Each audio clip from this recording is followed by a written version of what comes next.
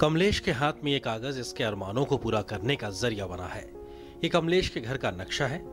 कमलेश और उसके परिवार के सपनों को पूरा करने का नक्शा इनकी खुशियों का कारण बना है। प्रधानमंत्री आवास योजना, जिसके तहत कमलेश को चरणबद्ध तरीके से पैसा दिया जा रहा है ताकि इन गरीबों के सर को भी छत मिल सके। पचास हज़ार रूपए मिले भाई साहब मेरे को और क्या कहते हैं, हमने मकान ये पचास रुपया दिए से मैंने मकान इतना बना दिया है। और क्या कहते हैं डेढ़ लाख बताए आए हैं। मेरे बच्चा दौख रही मकान में। मेरे पास तो कुछ हुआ नहीं। और उसको धन्यवाद। रीनू की कहानी भी कमलेश के ही जैसी है। रीनू ने कभी नहीं सोचा था कि इनका अपना पक्का मकान होगा लेकिन आज प्रधानमंत्री आवास योजना ने अरमानों को पंख लगा दिए हैं। ये हम पे ना घर मकान कुछ नहीं था हाँ, हाँ। झोपड़ी थी। प्रधानमंत्री ने हमें पचास हज़ार रूपए दिए उससे इतना कुछ बना लिया। हाँ, डेढ़ लाख रुपए देंगे तो जाके खाते में है डेढ़ लाख रुपए। हाँ।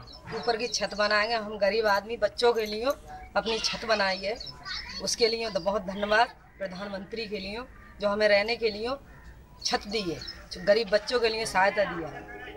संभल ज़िले के प्रधानमंत्री आवास योजना के तहत 1247 लोगों को अपने घर का सपना सच हुआ है। कभी इन गरीबों के लिए हर मौसम गर्मी बरसात और सर्दी सितम लेकर आता था लेकिन अब ऐसा नहीं होता। अब एक छत है सर पर, जिसके नीचे सुकून के पल नसीब हो रहे हैं।